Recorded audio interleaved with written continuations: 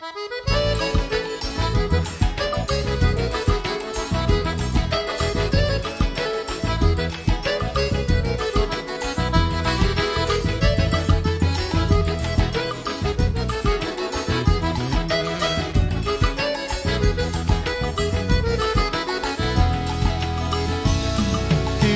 eu sinto de um bem.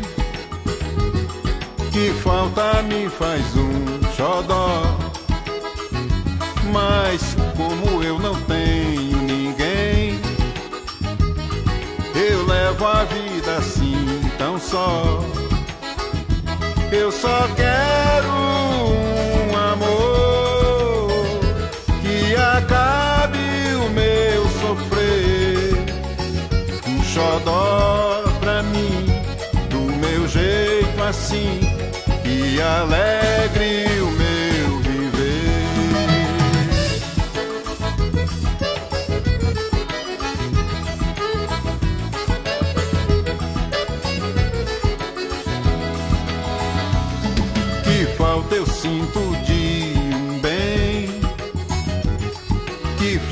falta me faz um xodó. Mas como eu não tenho ninguém, eu levo a vida assim tão só. Eu só quero um amor que acabe o meu sofrer.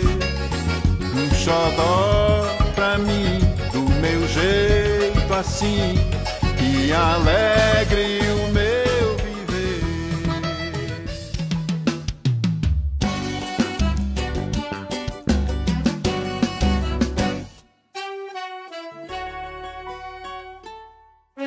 Ah, meus pais são exemplo de vida para mim, né?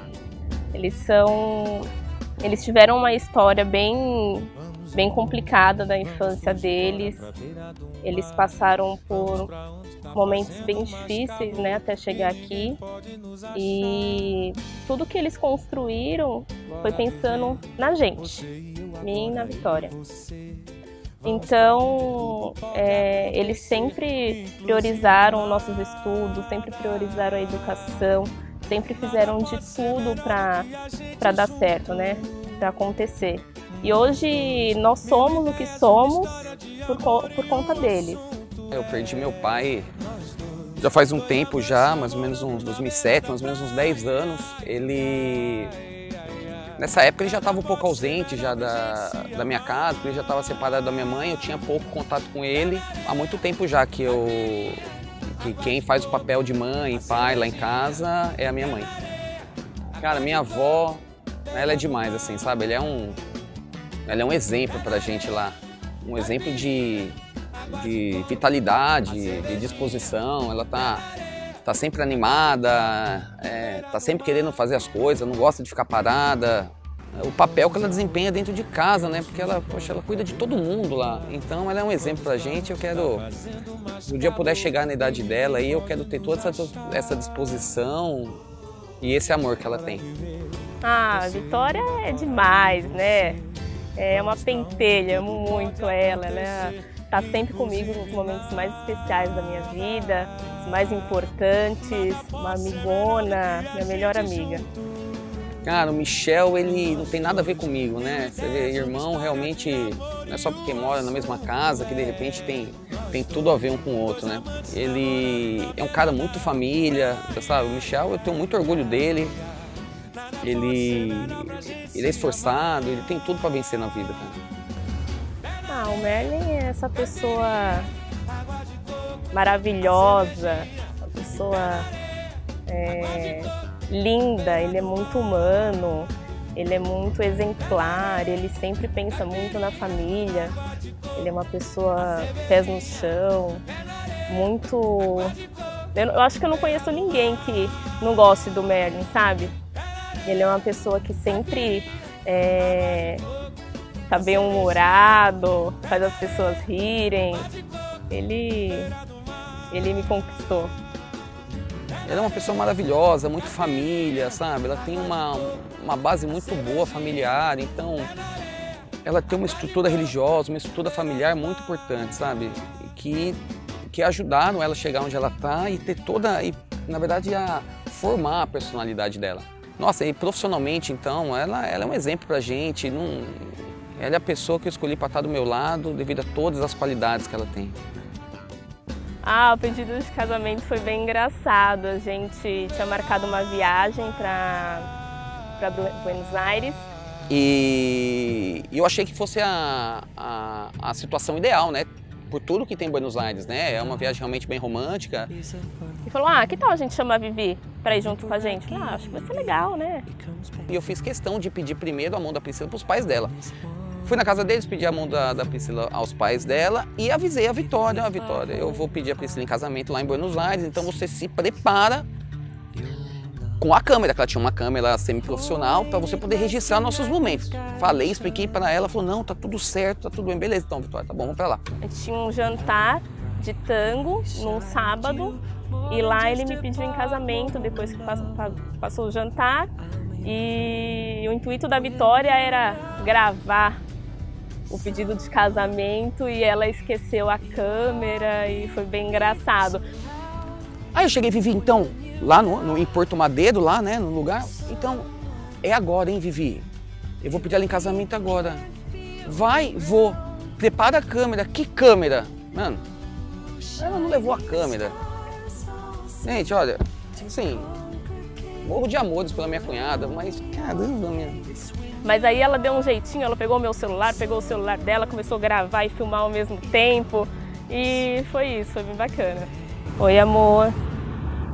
Eu queria dizer que eu estou muito feliz nessa nova fase da nossa vida, que a gente possa crescer, crescer juntos, que a gente possa se conhecer melhor, que que esse nosso, que essa nossa união formada por Deus seja abençoada e que nada de mal possa interferir no nosso casamento.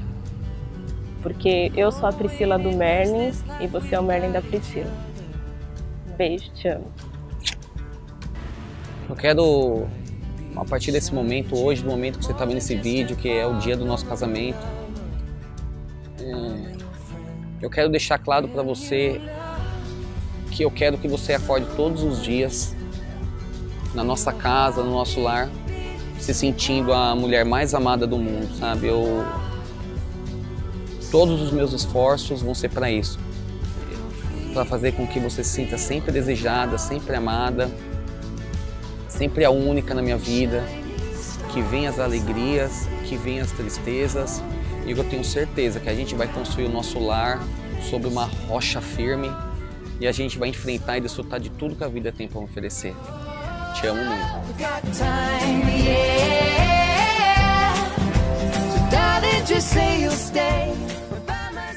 Boa noite, gente! Boa noite, No momento que vocês estão vendo esse vídeo, nós já estamos casados, casados com aliança aqui nesse dedo. Muito obrigado pela presença de cada um de vocês. Vocês foram carinhosamente escolhidos por nós para estar aí para compartilhar esse momento com a gente, para serem testemunhas desse nosso amor, dessa nossa união, né, amor? Certeza. E cada detalhe foi pensado especialmente para vocês. E a gente fez questão de compartilhar isso com vocês porque vocês vão ser muito importantes nessa jornada que nós estamos iniciando agora, nessa nossa vida. A gente vai precisar de cada um de vocês, das nossas famílias e dos nossos amigos para a gente poder vencer as batalhas da vida e a gente poder desfrutar dos momentos bons que a gente vai contar com cada um de vocês, na alegria e na tristeza. Beijo, gente. Boa festa, hein? Beijo, tchau.